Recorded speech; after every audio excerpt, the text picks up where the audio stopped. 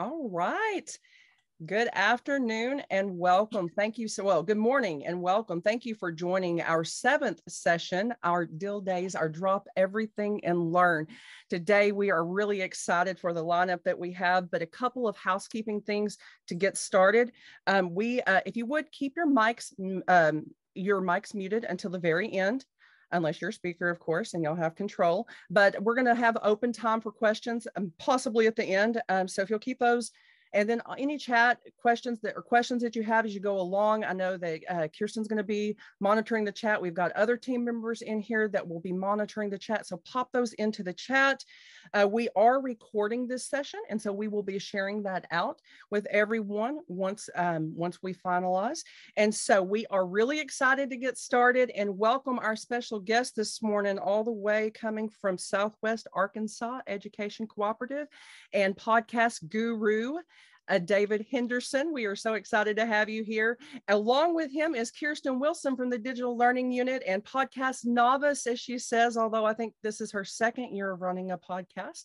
So we are really excited to, to learn from both of you this morning. I'm going to hand it over to you now, David, to get us started. All right. Well, thank you so much for uh, inviting us in to uh, talk about podcasting. And this is going to be sort of a, a, a high level tip of the iceberg uh, kind of uh, presentation.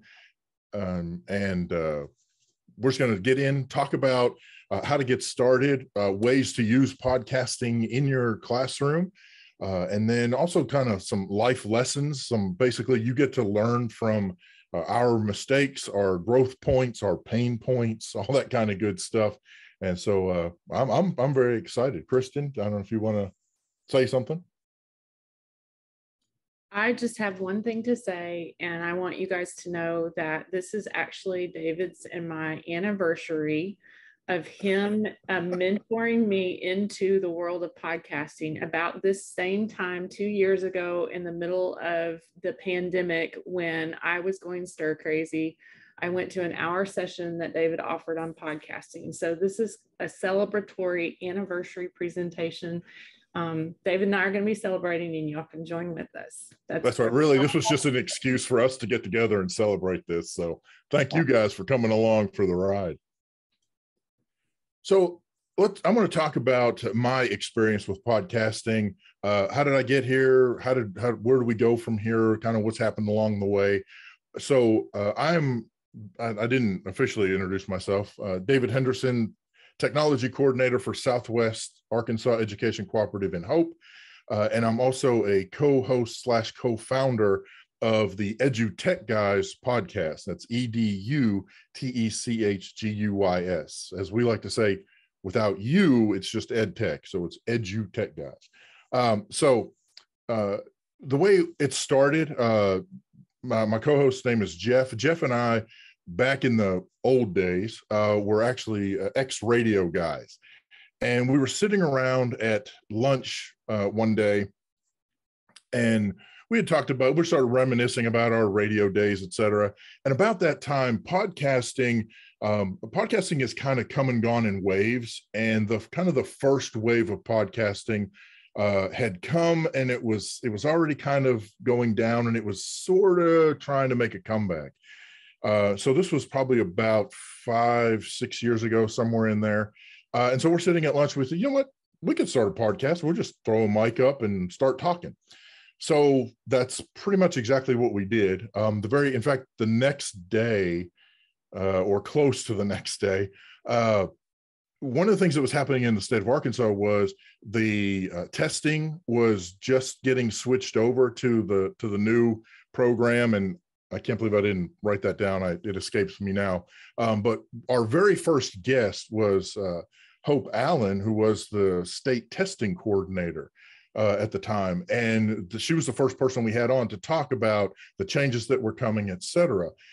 Also, at that same time, uh, Corwin Publishing was hosting an event at Hempstead Hall, which is the local uh, auditorium venue here in Hope uh, and so we went and asked our corresponding uh, bosses and also talked with Corwin Press and said, hey, we want to set up a table with some microphones and just grab people who are walking by this session or, or this event and throw them on the air and talk to them about what they're doing. Um, it was met with uh, skepticism and yet very like inquisitive. It was kind of like, you want to do what? And in those days, we actually did our podcast live, which was even scarier now that I'm thinking back. Um, ultimately, though, as we kind of went through things, uh, we've changed to a recording format. It may just scheduling is, is the main reason for that. Uh, not to mention some of the things that happen during any live uh, broadcast. Um, and so there were some things that we struggled with. Um, one of them for sure is time. Um, podcasting can take a chunk of time. We'll talk about that in a little bit. Um, consistency is a big one. Uh, putting, making sure that you put out your content, you know, regularly. Um, we pretty much try to stick to a weekly show. Some things happen, i.e., the pandemic. Um, the pandemic hit and uh, in some ways it, it afforded us an opportunity to do more but then in other ways uh, it kind of limited what we could do uh, and so we kind of grew through that and so uh, we are finally uh, talking about the future and what's next we're finally at the point where we are doing uh, interviews pretty well filled up tuesdays and thursday afternoons after work this is something we do you know this is a side gig as it were um, and we are also doing uh, conferences. We've been all over the country. Um, in fact, uh, in January, we just we got we went to FETC in Florida. Just got back from there, um, and uh, we we set up a table and we interview folks. So that's kind of that's kind of where we were, where we've been, and kind of where we're going. Uh, and so from there, uh, what I mainly want to talk to you about today is how easy it is to get into it, especially now. When when we were first getting into it, it wasn't too difficult necessarily, but it's definitely way easier now uh, than it has been. So, a couple of the key high points that I want to hit are planning, scheduling, and recording and sharing. And for the most part, that's what podcasting is. Um, if you if you need kind of a working I don't want to say definition, but if you need kind of a working concept of podcasting, podcasting is essentially taking an audio recording, putting it out there for the world to hear, and providing a way for people to get to it easily, ideally being pushed to them. That's where the cast part comes from podcasting is that it is pushed to their devices so that they can subscribe to it and get it on their device really without having to do much work. So as far as the planning goes, um, we kind of stick with you know the five W's and the H, the what, when, where, hi, who, how, how who, all that stuff. Um, so, what are you going to talk about? Where are you going to record? Why are you doing this? Why do you want to have a podcast? Um, when are you going to podcast? Who are the hosts and the guests if you're going to have that? And then also how are you going to do it? And we're going to cover all of that quickly as we you know go through uh, this session this morning.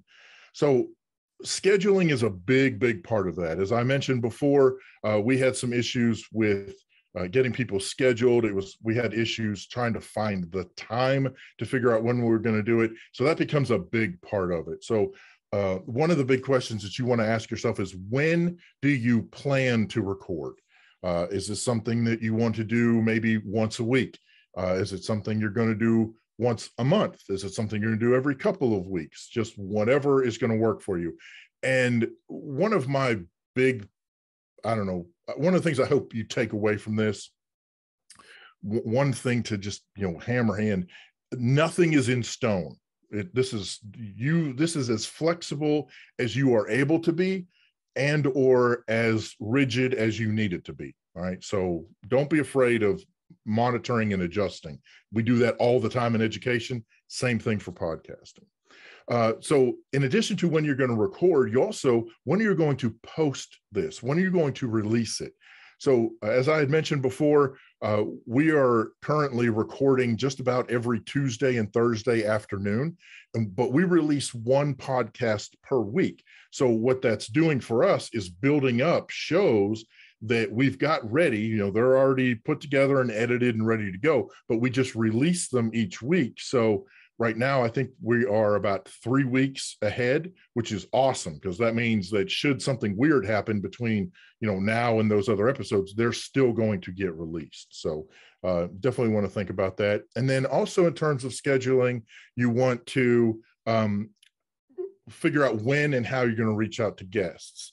And then, real quickly, uh, recording and sharing. What equipment are you are you going to use, and how are you going to share your podcast? So we're going to get into all of that. So, all right. So once you start, you want to always, hopefully, be improving. Um, that's that's the ultimate goal. It's it's like with anything that you're learning. The first, and, and I'm just going to tell you, your first episodes, and and Kirsten is either going to back me up on this, or um, I, I don't. I'm, I'm not trying to call you out on this by any stretch. The first few episodes that you do, and by few, it's different for each person, but they're probably going to suck. I'm just going to throw that out there. Okay. And it's perfectly fine. It's perfectly fine. Absolutely. The idea is that you always get better. Go ahead. Well, and I will say if you go back and look at podcasts and if you listen to a podcast, if you go to the very first episodes of some of the best podcasts that you mm-hmm. listen to, they're not awesome either. Um, and so just like like get past the perfection piece and just jump into it. So that's the whole, you know, the title dipping your toe, toes in the pool of podcasting. I say jump right in or dive right in. Don't even just dip your toes. don't don't even dip your toes. Just jump in and go yeah, for the swimming. For sure. Um, so let's just start. We'll, we'll, go through this real quickly here. Uh, you, you want to start simple, uh, and some of you may have picked up on that. My subtitles are all song titles, right? We've only just begun. So some now these are going to be from my generation and older. So if you're younger, bear with me. Um, but we've only just begun. Starting simple. If you are in this session right now, which of course you are, you already have a device in your possession that you can use for podcasting. So whether you're using a phone, whether you're connected by a tablet, whether you're on a Chromebook, whether you're on a PC, Mac, whatever, it doesn't matter. You've already got the piece of equipment because the only thing you really need is a way to record your voice or the voices of the people that you're going to bring in. It's already got a microphone built into it. You're good to go. The other pieces that you'll need are a host. And I don't work for Anchor. I'm not getting paid by Anchor. Um, but I will tell you, Anchor.fm is the, from my opinion, one of the best places for you to host your podcast. The reason A, it's free. B, it's tied in with Spotify. So they're actually working on some ways to be able to incorporate copyrighted, you know, commercial music into your podcast, which is crazy to think of now. Um, but it is very simple. It works on any platform. Uh, and then, as far as starting simple, things you want to think about are what are you going to talk about? What are your topics? Uh, who are the hosts, right? Are you the host or are you going to have somebody else be the host? And then who are the guests if you're going to have guests? Well, wanna, David, I also uh-huh. wanted to add with Anchor.fm, they have a new plugin where they po- they plug into uh, WordPress. So if you want to make it a vlog or a podcast blog, and this morning in my inbox from Anchor, they are also exploring the idea of video podcasting that's tied in with it as well. So they're constantly upgrading and doing things to make it more dynamic. Um, and you can do just as much or as little in Anchor as you want. It's really awesome. Yeah, it, it really is. And I'm um, not paid by Anchor either. uh, um, so moving on from starting simple, we want to talk about moving outside of the box or thinking outside of the box. And the song I chose is called Living on the Outside uh, because I chose it specifically because most of you have probably never heard the song and most likely don't know the artist. The artist is from, uh, it's, it's Nick C. He happens to be my cousin. So that's also part of the reason why I did it. Shout out to him.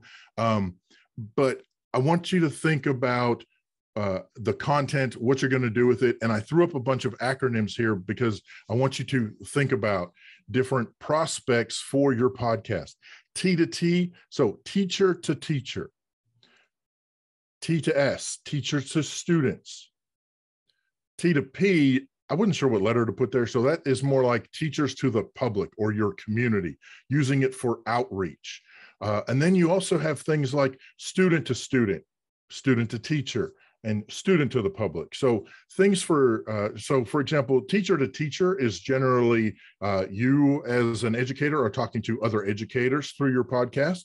Teachers to students, you may be doing things like lesson reviews. You might be uh, providing additional content, uh, other ideas, some things for their students to think about. When you're talking to the public, we're talking about things such as uh, talking to your stakeholders in general. You're you could be putting out uh, weekly, hey, this is what's going on in class. Uh, it could be like you know your word lists. It could be it depends on you know whatever else you're looking for or whatever else you are doing in your classroom. As for the students, um, podcasting is great for things like as something as simple as either book talks or book walks. They could do that, right? Student to student, um, student to teacher podcasts are a really cool way for students to demonstrate content knowledge. Uh, again, you know, a lot of it depends on the subject and what it is you're trying to get out of them. Um, but I've heard and seen student work that gets turned in via podcast where they are interviewing people key to demonstrating content knowledge. Some students work with other students and they develop, you know, a, a rap about Macbeth and they put that in podcast form, I mean, you really think outside the box. Anything is possible. Uh, students to community, they could be talking about projects. Uh, there are many, especially in elementary uh, schools, but there are many schools that they have their students record and produce the podcast each week, and they cover things like these are the lunch menus, and this is the these are the words of the week, and this is the the the um, uh, what's the word I'm looking for? You know, like like character is the is the concept of the week, and they talk about character and, and you know those types of things. Well, and David, I also mm-hmm. wanted to say that this is also um, an awesome way for students that maybe have um, they're not able to have their face or pictures um, mm-hmm. through social media. But if you do a recording and don't do any identifiers, that student gets the opportunity to experience digital and liter- um, digital and media literacy creation without having to worry about, um, you know, the teacher being limiting that student to be out there visibly because it's the voice. And, and just so you guys know, everybody knows when their baby is on the podcast, it's going to get shared multiple times in multiple ways, and it's going to get your information out. Um, so capitalize on using your kids because everybody wants to hear from the kids. Exactly. That is exactly. And if you're interested in starting a podcast that is not necessarily in either of those kind of arenas, then by all means, you can start one based on hobbies you have, interests you have, tips and tricks that you've learned along the way, however you want to build that. And speaking of building, you we're gonna you know, you want to talk about you want to think about rather uh, promotion. Uh, how are you going to promote this within your district, within the building, within your stakeholder community, uh, whether it's through the school Facebook page or Twitter accounts or however you want to build that out? Um, in house, inwardly, and then also um, out of the house or outhouse. Uh, so you want to talk, you know, you want to think about how does that get promoted beyond, and that's where again, Anchor FM they tie into the big distributions. Like you can with Anchor FM, you can get set up on Google Play Store, on Apple iTunes podcasts. I mean, the big dogs, and you just throw it out there and work with that uh, entity and use their links, etc., to promote what you plan to do with your podcast or as your podcast grows. And then, speaking of growing, you want to become the king of wishful thinking in that you want to ultimately plan for some better equipment, maybe expanded programming, possibly look into monetization. One of the other things that Anchors offers is right out of the box. You can be brand new and have zero podcasts under your belt. There's a little check box that says, Yep, I'd like to monetize this. And then you start putting out content. They match advertisers with your listeners. And eventually you may end up finding that you've got ads running on your podcast and you get to pocket a little bit of change. So it's it really is. There's no limit as to how this works or what you can do. So, how are schools in particular using the podcast methods? Teachers, as we've talked about before, you could do reviews for students. You could be providing additional information, uh, newsletter to parents, students, again, content knowledge, helping younger students. You can see administrators. There are many administrators who are using podcasting as a way to reach out to everyone that they affect. Announcements, community involvement, uh, and then you can also use podcasting as a way to address standards, again, with demonstrating content knowledge, getting the students to participate and show those standards that you are trying to get them to meet through this particular medium. And I will also add there, it is an exceptional opportunity for them to experience the creation of digital literacy and media literacy. Instead of just being consumers, they become creators in the podcast, which is an essential skill for our students um, in the day and age that they work in and live in. Um, when they leave us from high school and they go post high school, they have to have some ability and capacity to create in a digital environment. And this is a wonderful opportunity for them to do that and build that skill set. Yes. So David is an inspiration to me. And um, this is my story of how I got started.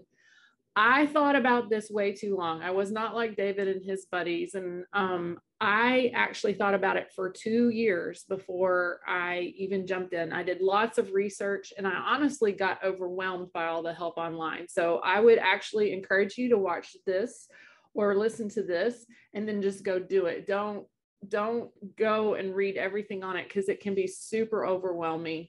Um, when I attended this one hour session with David, he made it so simple to me and he introduced Anchor to me that it just, it was basically I jumped in and plugged in and it happened for me.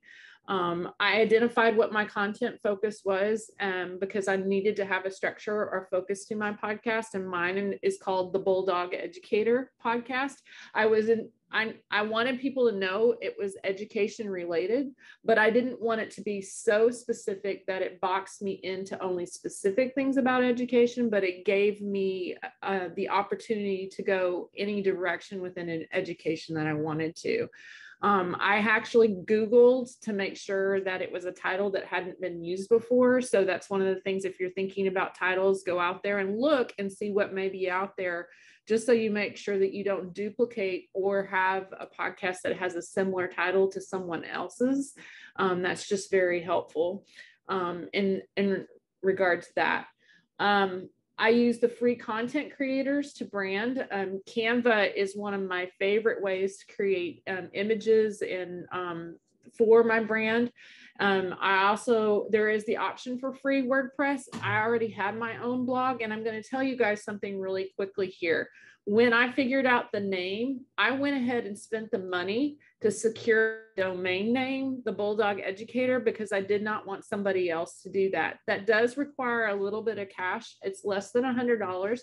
But if you if this is something you want to do and you don't want somebody else to grab your domain, I do recommend that you consider doing that piece. And that is one thing I did.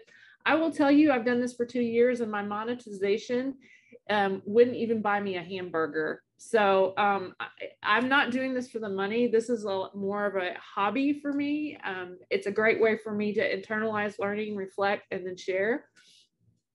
But um, so that was one monetary investment that I did make. I also um, put in my cart, Amazon cart, a, a package with a Yeti mic and a headset and let it sit there until the price dropped and then I bought it. And in the meantime, I just used my headphones with my laptop and made it work um, until then.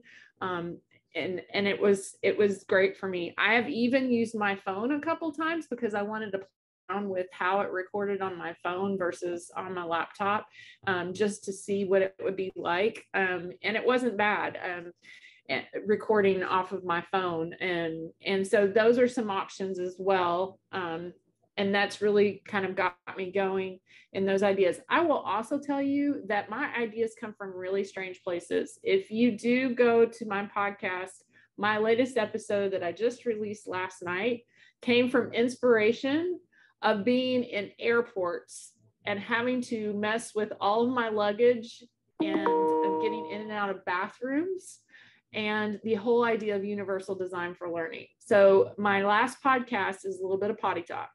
So, but if um, if you uh, are interested in podcasts, um, we actually at DESE have several podcasts. Um, I don't know if Donnie Lee is still on here, but he is the producer for all the DESE podcasts.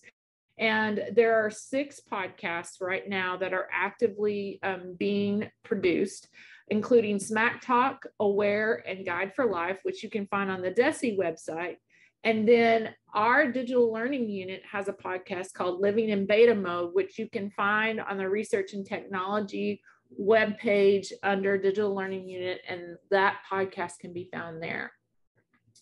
Um, and yes, Donnie is a podcast rock star.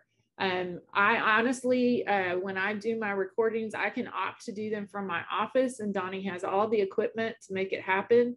But he has his podcast studio in Harrison at OUR, and I drive almost two hours when I do my recordings because it is so much fun to do podcasts with Donnie. So if you are with ADE and you're interested in that, um, and you don't have a podcast through the uh, ADE or DESE, check with um, Donnie. And if you are someone interested, please reach out to David and Donnie. Both of them are excellent resources when you're considering a podcast for your school.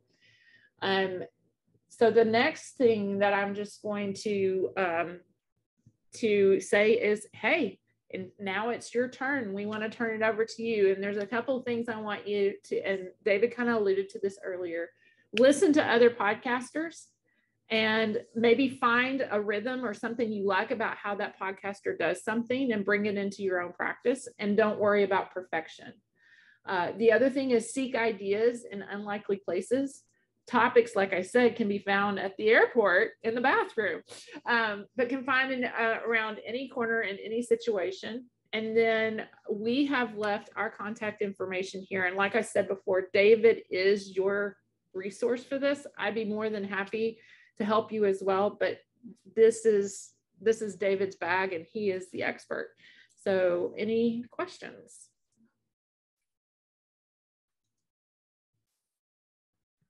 Got some great links in the chat, Kirsten, to some to the podcast from David Henderson. So got that information. Check that out. Yes, he put in there, uh, there's a middle school, and then Trevor Muir. Um, he is a teacher, and his podcast, um, he just just started it recently, but it is going viral um, with other teachers.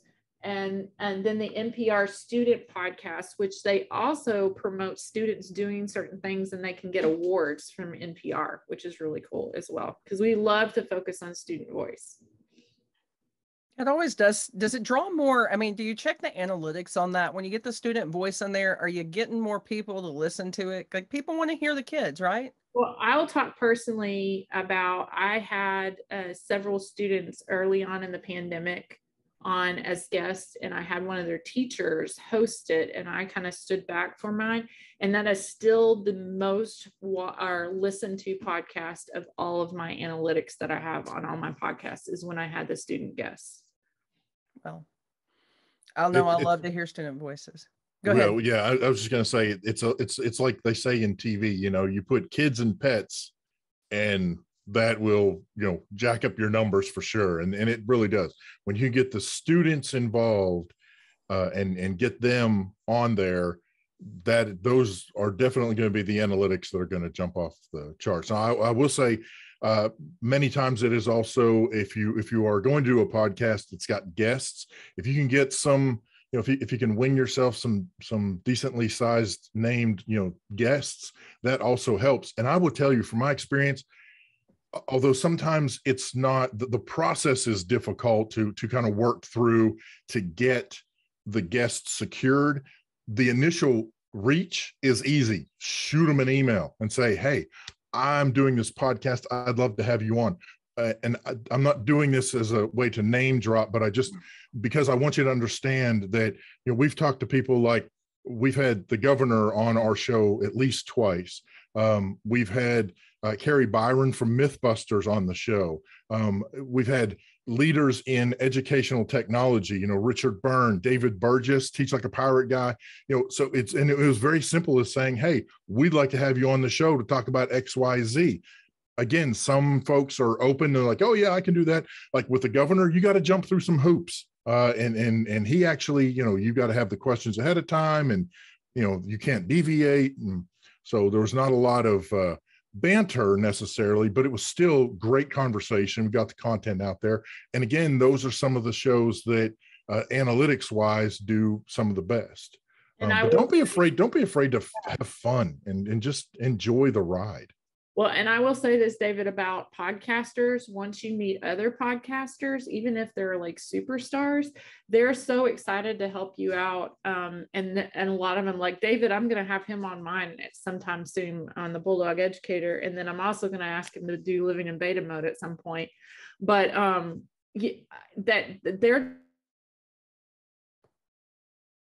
say, Yeah, I'll do a podcast with you, which I'm like, Holy moly. And she's written like 18 books. And um, they just want people to succeed. It's a really cool culture.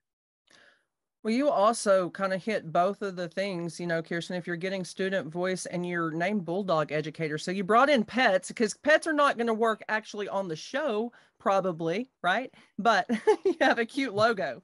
So maybe that helps. Any other questions that we have? I know we're getting close. We're 12 o'clock. Don't want to keep anyone over, but anything else that you want to ask of our experts before we wrap up? I got to jump in and just agree with the kids and pets being high risk, high reward. You know, it's it's one of those deals of you can you can strike gold or you can strike out. Donnie, you're so right. You would know I, well. I will say this though, my biggest episode across any any of the shows that I do that I'm kind of helping folks produce and distribute and whatnot was Alice Cooper with Arkansas Aware. Um, not the Alice Cooper you might think of. Um, I'm not. I don't have that much rock star clout, but she's a she's a teacher up here at Jasper who is uh, working through her 50th year and um, she's been at she's been in a couple different conferences and and uh, yeah, she is totally a rock star. She is a rock star. Um, I talk about her. In fact, Stephen Walker and I were speaking about her. He's on here. We were speaking about her yesterday. That she is the the talks I go to. I know that we were talking about your podcast, um, or maybe it was Stephen. I can't remember. One of my team members. That being the most viewed one. Is that the most viewed one that you have? Is with Alice? She's amazing. If y'all can By hear far. her. Yeah, it had it, it holds the single day record and the all time record. Wow. Which is easy to do with my stuff. It doesn't you know, but at the same time it done it pretty it it done it it done it by half again the next contender. So yeah. Well, she's brought me to tears. So she's amazing. So listen to that one. I get to live up here among people like that too. Imagine. That's awesome. You're I'm jealous. She's hey, an guys. old school family friend. I'm poking fun, but yeah, we've I've known Alice my whole life. She is uh she's as good a folks as you'd think.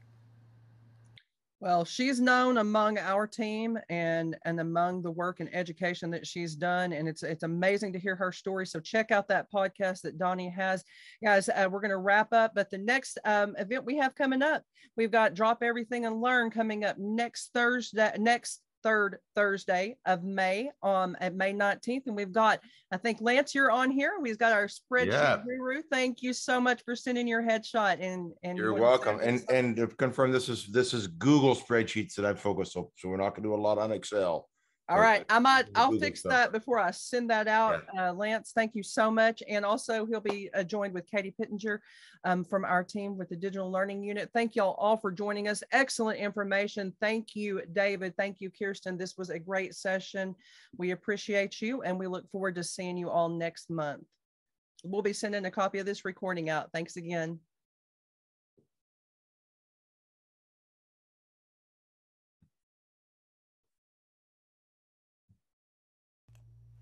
Thanks, guys.